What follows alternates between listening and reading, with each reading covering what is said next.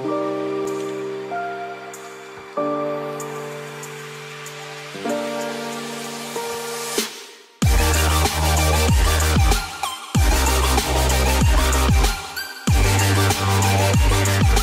up everybody, it's Chuflocka back at again with another Madden YouTube video. Yesterday, I posted a video on how to run the three best offensive plays in the yard. Today, we're going to be doing the best defensive plays in the yard. It's going to be around two to three plays. I'm going to head into the player selection and who you should be picking.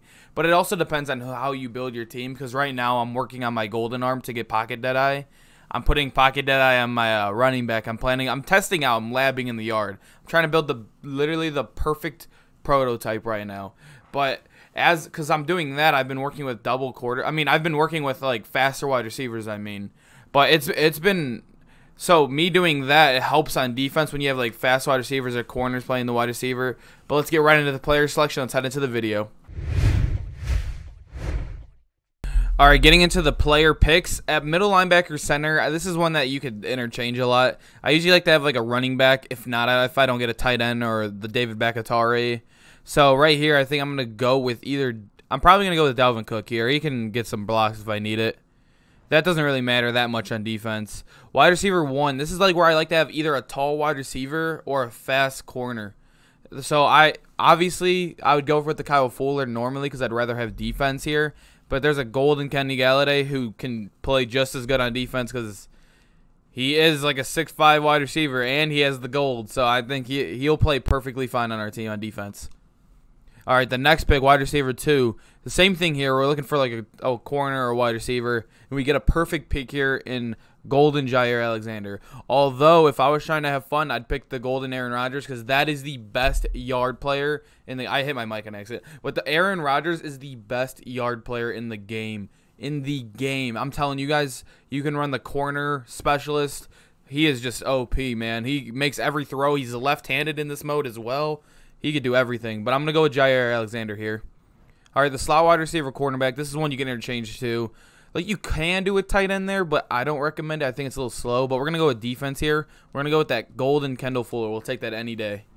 It's gonna help a lot in the flats, like basically everything. Right here is another flat defense. You can go with a tall wide receiver or corner once again. A lot of people I see like to go with like running backs here. I I don't like putting running backs on my team unless I have to. And honestly, I don't think I've ever seen Aaron Jones. I don't know if he's new in here. I haven't seen him before, and I've played a lot of Lambeau tailgate. But I think I'm going to go with I think I'm going to go with MVS here. He is a lower overall than Thielen, but he is taller, better for defense. He is faster as well. We built a pretty good defense here. We got MVS, a tall wide receiver, Kendall Fuller, a gold, Kenny Golladay, a gold, and Jaire Alexander, a gold, and a purple Dalvin Cook, so not too bad. We're going to be starting the game on defense. This is one I love to run when I'm closer to the end zone, but this is one I think if you have pretty good players, which I did draft a pretty good team, goal line robber helps a lot, especially man defense helps in all modes in this game. I'll show you here. I don't have the best defensive build right now. See, I know this play already. Nobody blitzed. I don't know what he's doing there, but everything was clamped there. It might have been just because he was running the vertical routes. But we did draft good players here. If you draft like a linebacker, you're really it's really not going to be as successful. Okay, he does throw that. We're going to watch this. It's, see, look at two plays. He's lost 11 yards and a down, actually, because he uh, tried to run. The goal line robber is very good in one-on-ones, I'm telling you. You can't really audible your players like press or, see, like, everyone's getting cooked off the line of scrimmage. See, that's just a fluke play there. You can't even, there's nothing you could do about those. But you guys see how close, tight the defense is. There's so many picks that happened in it. Like, obviously, if I could get a better player than Kenny Golladay there for defensive purposes. All right, let's head right back into goal line robber here. I did have a mishap where I called the wrong play, and I he did score on me. It does seem like he has something there, and he did not throw it. I did get there in time. If he would have threw that deep post, that would have been a pick. Seems like he was throwing the flat or the slant that was uh, completely clamped. We're going to get into it again, see if we can get going here. I think it's Kirk Cousins at quarterback, and he has his player playing the running back position. He does. He's going to run the corner. We are going to get a stop here.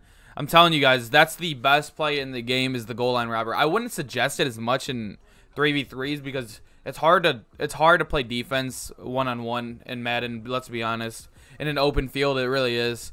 But um that is the best play in my opinion by far to run. on defense, but we're going to head into the next two here.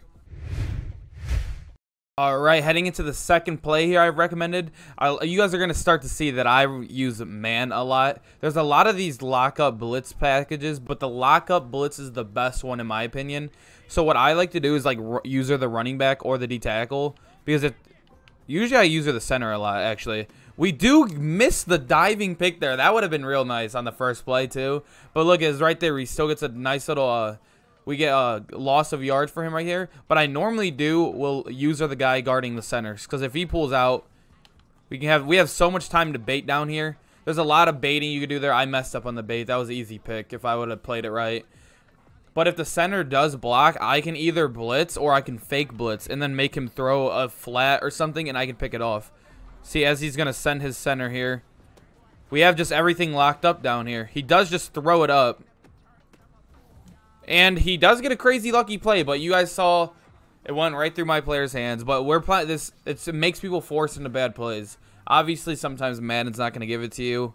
Obviously, everyone knows how Madden is. All right, let's head into a couple more of those plays. I want to show you that it actually works. I want him to block his D tackle, but it doesn't seem like, I mean, the center, but it doesn't seem like he's going to. He does just throw it up here, and we do get a pick with MVS. That's why I don't like like running backs there, or even like a double quarterback because there's no defense involved at all. MVS is a, I think that's a blue MVS, but he is tall. He is a fast player. He does get a lot of picks in this game. We do make him quit. We're going to head into a third play, though, for you guys. Let me load up another game. Next one is the safety blitz lock. This is one that I like to bait out of a lot. I don't always rush if I don't have to. It forces him into plays like that. Well, that is a good play by him. I'm going to respect. That's a good play. But normally, it, it will force people into very bad plays like right there. I didn't know, like, I think I switched to the man of the quarterback once that happens, but that was my fault there. But we'll see what's going to go. We're going to try to bait this a little bit. Oh, we tried to bait it. He is playing really good right here. This is like, this is probably the best I've seen somebody play against a man defense. But let's head into it again. I'm going to show you that it works. I'm going to show you that obviously in the yard you can't play best defense. You can't audible. You can't do anything like you want, like in a normal game. But the blitz ones are a little we do get a pick there. After all, he does drive. We throw the pick. Man defense forces a lot of bad plays. I'm starting to I'm starting to shadow what he was looking for in the backfield. And as I was doing that, it forced him into a bad throw over top. He didn't have to throw that, obviously, but the man defense kind of, especially with Dalvin Cook, it kind of like kind of like offs it a little bit where it looks like it's open, which I love when I have like a slot wide receiver playing uh, running back. But anyways, let's head right back into more examples. We're going to head back into the safety blitz lock. This one's a little bit different because the way it plays, like your slot will play. It's I don't know how to explain it. Like your slot will blitz instead of your uh instead of your uh running back, which I like more. I think it's better for defense. I'd rather have my running back be my user and not be the one that's playing man. See, nor it, normally it's uh, it's like different a little bit, but we'll be fine right there. We do force a fumble there. That is huge. See, two takeaways and two plays. The man defense, I'm telling you, the zone does not work. It kills. Zone gets killed in the yard. Completely killed. I hope you guys enjoyed this video. Run man defense and ultimate team the yard, regs. Just run man defense. That's all you got to do.